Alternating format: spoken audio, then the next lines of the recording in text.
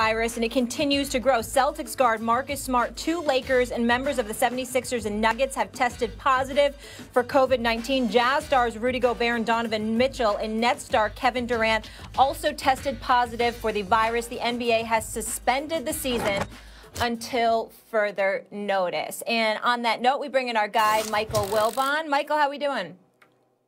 Molly, I'm doing pretty well. I mean, in these times, relatively speaking, I'm doing pretty well and um, trying to remain optimistic about a whole lot of stuff, even though people would say, well, there's not as much, as particularly in the sports world, to be optimistic about. I'm, I'm trying to maintain that now. No question. And I just need to say something, Michael. So we were having some technical difficulties the first hour. Stephen A was hosting. He did a fantastic job. No surprise. Obviously, he hosts Sports Center as well. But Stephen A, how are you going to lie to the American people and act like now you're finally the boss of the show? Now you finally have power. Nobody's buying that. Oh, no.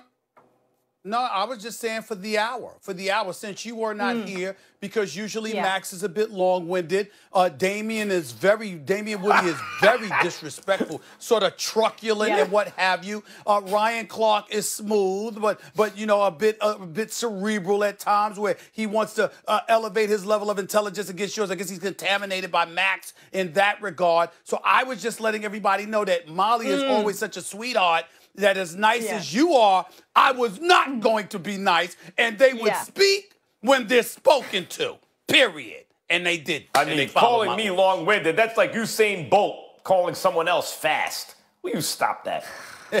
oh my goodness. It was good television to say the least though. Michael, great to have you with us. Stephen A, I'll start with you here. Do you believe that the NBA season is over now that we're hearing more and more cases in the NBA of COVID-19?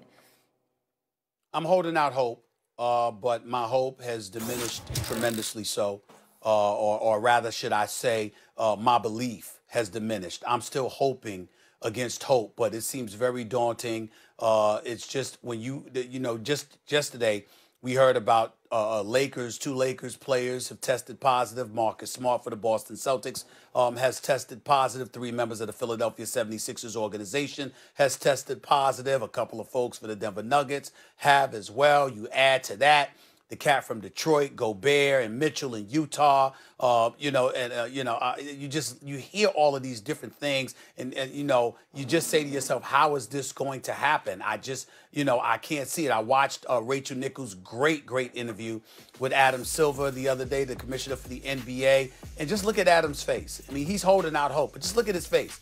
I mean, to know Adam Silver, um, obviously is an incredibly thoughtful person, wise beyond his years, an incredible leader for the NBA. Uh, but the reality is, is that this is a guy, and Mike Wilbon can speak to this very intimately as well. Adam usually is finding the silver lining everywhere. He's the kind of guy where if there is some hope to be had, he's going to grab it, he's going to hold on to it, and he's going to find a way to capitalize off of it. That's what Adam Silver does. That's his specialty, one could argue. Yet, he seemed a bit resigned uh, to what we're all growing more and more resigned to because we've seen, uh, you know, the challenges that our federal government has had along with the rest of the world with seeing pictures of people on the beaches in Georgia making no sense whatsoever, not practicing social distancing, uh, distancing and what have you, just jeopardizing all of us and you're just wondering how in God's name can you rectify this situation in time to have a season. I'm still holding out hope because of the leadership of Adam Silver and the priority the entire sports world and the world period has placed on this issue to assist the federal government and local governments in resolving this crisis. Uh, but it seems very daunting to say the least. Yeah, this is if there could possibly be a season. Adam Silver and Michelle Roberts, by the way, you know, Adam Silver will see to it that there is. He's he's shown real strong leadership consistently. This is not the first time, but again here. The issue is leadership at the top levels of our federal government.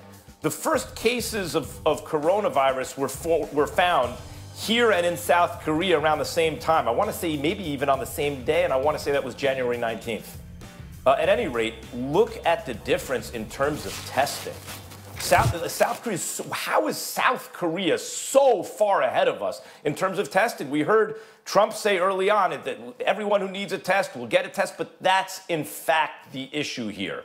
Because the federal government has, has, um, has so mishandled the initial response and is unprepared in terms of tests uh, I, I, don't know that Adam Silver can get his hands on the resources he needs in order to carry on with the season. Theoretically, you could. Theoretically, if you could get your hands on enough tests and not have, we talked about de Blasio's statement yesterday, uh, Stephen A., the mayor of New York City, and, you felt he was politicizing something or, or, or making, trying to score political points.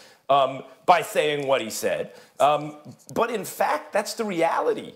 It, without tests, you can't. So theoretically, this is what you could do. You could test everyone on a team, everyone associated with the team who's going to be traveling, have them quarantine, and, and the NBA is a league who can actually put that in place, right? And then once that happens, you can play in an empty gym. By the way, there'll be a real appetite for that because we're all sitting here at home and, and looking, especially sports fans, like starved for sports. So theoretically, that could happen. But what happens if you do that? De Blasio and others will come out and correctly say, why is this group getting it? Because they have they're privileged and they have access that other groups don't have to those tests, particularly when elderly are at risk and people really do need the tests in order to locate and isolate the virus, right? And they'll be right. They won't be wrong. So, so, be, so it's not Adam, Adam Silver's fault at all. I think he's showing extraordinary leadership. But failure at the highest level of the federal government means that I, I would not be optimistic about seeing real NBA basketball to close out the 2019-2020 season. Michael, where's your head on this? Well, I, I, first of all, a couple of things. The, the, the, the talking about the number of cases in the NBA means nothing.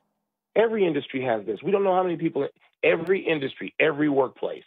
This is not because the NBA has an increasing number. The NBA is going to have a, a bigger number than this, just like every workplace in the world, workplace in America particularly, since we're talking about whether or not we're optimistic. I don't know if I want to use the word optimistic, but I, like Stephen I'm hopeful. But we get forgetting something. We're talking about here not even about the number of tests available.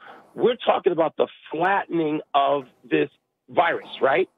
We're talking mm-hmm. about what is going to happen, and, and, and the, the doctors that I've talked to, and, and there's quite a few. One of the things they mention is these things are seasonal. Every one of these pandemics has been seasonal. We talk about flu being seasonal the reason they tied so much of this to May, June in terms of flattening is because of sun and warmth throughout America. And most of the country doesn't even get there until June and maybe a little bit later. So if that, and that's just one of many factors. I'm hopeful because as spring becomes summer and you get that sort of sun and warmth in which the virus, if not cannot live, certainly flattens, maybe we can get to a, there's no reason not to have a playoff um, and I, I don't see a regular season resuming, but there's no reason not to have a playoff in July or August or September. Why not? So we're talking about time here. And nobody wants to wait on anything in the world we live in today. And it, we are, when, Molly, when I said talking about trying to be in a better mood, we're talking mm-hmm. about time. And we have to, as a culture, get used to something that we don't want to accept, which is we're gonna we're gonna be like this. What is today? March what? What where where are we? I've lost track. We are we the twentieth yet? March. It's a yeah. So March twentieth. So we're talking about at least two more months of just waiting. And of course, people yeah. are going to test positive again in every industry.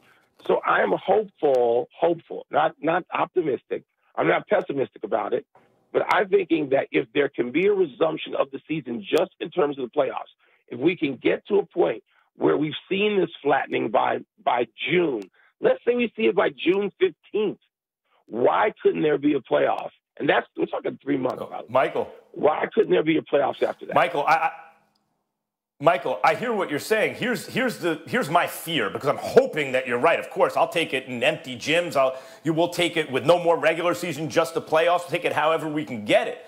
But what a flattening means is a prolonging right? So, so in other words, Yeah. we don't want everyone to get it at once, but there's an acknowledgement that a huge percentage are going to get it. So we want people to get it over time. That means that we could be in this kind of uh, social distancing mode for quite some time, and that's if we're successful containing it. If we're successful true, Mac. flattening, that pushes everything back. What it really comes down to, I think, is does the federal government make tests widely available? If that's the case, if they fail, as they've been failing to do that, then forget it. Because even if you can contract with private contractors, there will be legitimate criticism. Hey, wait a minute, there aren't enough tests to go around. We can't use these tests just for the NBA. But if the federal government is successful in, in, in, generating these tests and making them available, then it would be legitimate for the NBA to grab a bunch of them and say, We've tested our guys, we've quarantined, the games will go on. And I think that's what it's going to come down to. Well, for me personally, Stephen A? I'm of the mindset that, um, Mike, I don't believe that a playoff can take place in September. I think that would be disastrous uh, because, first of all, you don't want to compete with the NFL. I think we've proven that. You don't want to compete with the NFL, even if it is the NFL NBA playoffs. And then obviously, you're talking about pushing the start of next season back as well, which is something they'd have to take into consideration. I do believe that even though it wouldn't be a preference by anybody, uh, that you could have a playoff if indeed you can resume play in June. I think you could play basketball up until mid to the end of August and get away with it because I think that the ratings will soar and people will gravitate towards playoff basketball. The other thing that I would like to entertain, if y'all don't mind, and I'm, Molly, are we going to the next segment with this because I want to talk Yeah, I about was the the possibility NFL. of other Yeah. sports. Yeah. Say, wait, say that again, Stephen A. Sorry, uh, producer. Now I said I want to talk about the possibility of other sports because